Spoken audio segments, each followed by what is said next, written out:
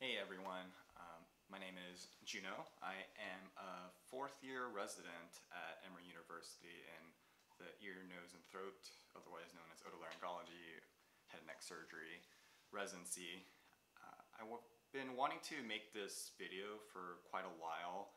Uh, this is kind of the general advice and feedback that I give medical students or people that really reach out to me to figure out kind of tips and tricks on how to become the best medical student and the best sub-I slash externship, whatever you want to call it, um, while they're doing a rotation so that the residents love you and the attendings give you the stamp of approval that you become enticing to them at the end. Um, I want to get this out before the, or actually during the um, externship season so that hopefully it helps a few people out. Um, just a little bit of background about myself. I went to a medical school that didn't have residents to work with. Um, so I was just working one-on-one -on -one with attendings and really I didn't really have thorough advice on how to kind of conduct myself uh, as a medical student, but thankfully um, I ended up doing three externships across the country and those externship letters were the ones that um, really got me into the uh, amount of interviews that I did get and got me into my um, top program. So I wanted to share my experience and kind of uh, the resident perspective on medical students and um, basically kind of giving you a little bit obvious things, a little bit nuanced ideas on how to um, kind of avoid pitfalls.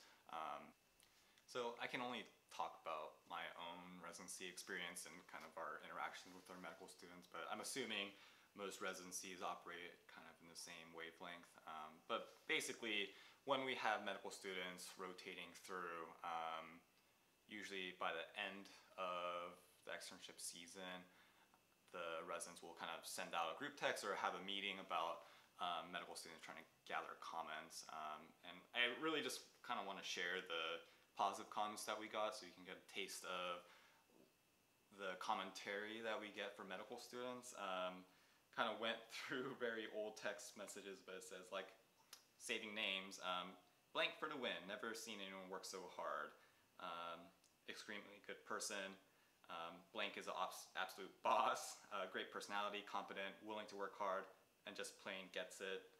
Um, what else?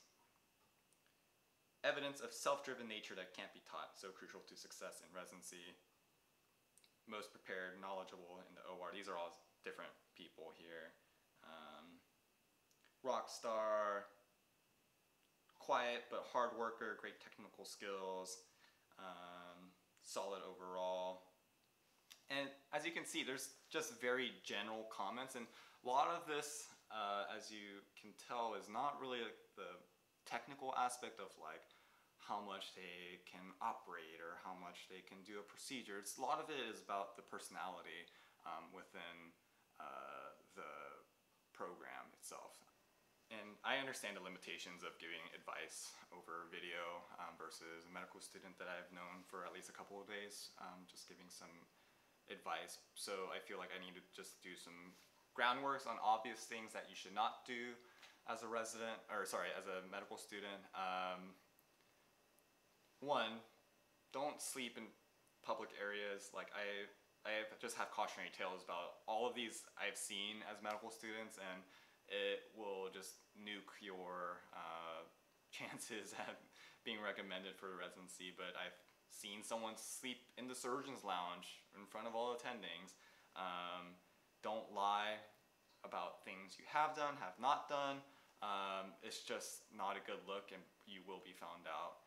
Um, and try not to complain about how tired you are in terms of, um, at least to a resident, you can talk to your co-externs, but you just don't know if the resident you're talking to has been up for more than 24 hours versus your six hours of sleep. Um, it's just not good form. Um, and the last thing, which is a little bit more nuanced, that's harder to explain, is um, don't be annoying. That is a comment that uh, comes out a lot for medical students and I think that goes across with um, commentaries about being um, with a lot of hubris or um, just being cocky. Um, there's actually a really uh, funny article by Gomer, which is a medical satire site, um, and I've seen it, or I, I've talked about it with um, attendings at times, but it's basically an, an article, and I'll link it below, but an article about how a cardboard cutout of a medical student was the best medical student and received honors um, within it. Go check it out. It's uh, really funny, but it has comments like, um, stood in the corner, it was first to be there and late, late to arrive. But it, it, even though it's satire, it, it can kind of give you a little taste of what we like as um, surgical residents or just residents in general. Um, or obviously take it with a grain of salt. At least in my residency, uh, we're not looking for gunners. We're just looking for personable, humble, helpful people. Um, and I understand that's really vague, um, but it's really true. Um, we want to find people that match us personality. And I understand every residency is different. You might go to a more malignant program, but match more personality with them. So at the end of the day, I really stress to medical students like be yourself and just try not to step on any toes. Um, that being said, you can kind of just go into like the general advice about being a extern out of uh, or residencies um, on your sub-I or externships. Um, one is obvious, which is just try to be helpful. Um, I think a comment that we get a lot uh, medical students is um, person is always trying to help. And that is something where, let's say you're in the operating room, you don't want to be seen as standing in the corner. I know that Gomer uh, cardboard cutout was talking about standing in the corner, but um, in the operating room, uh, you want to try to be doing something all the time, whether it's prepping the patient or taking the bed out, tucking the arms. Um, I really want to make a video on that um, just so people have a better idea of um, what to expect in the operating room. Um, but even when you're on rounds, like getting supplies, getting gauze, um, checking numbers, and just always being around for uh, the residents saying like, hey, is there something I can help out with? Um, whether it's running a prescription paper to a nurse. Uh, those little things uh, as long as you're aware um, and can identify pattern, pattern recognition, um, that will really go far.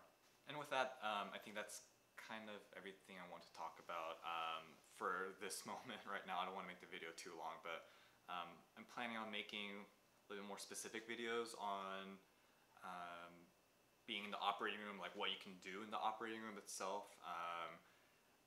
Maybe my uh, experience uh, applying to ENT, um, and also probably when interview season comes, make a video about um, all the dozens and dozens of interviews and weird questions like, what's your spirit animal um, that uh, I got? So um, thanks for watching. I'm hoping that if this helps a couple people, that will make me happy. Um, I'll try to answer some questions um, and reach out if you need to.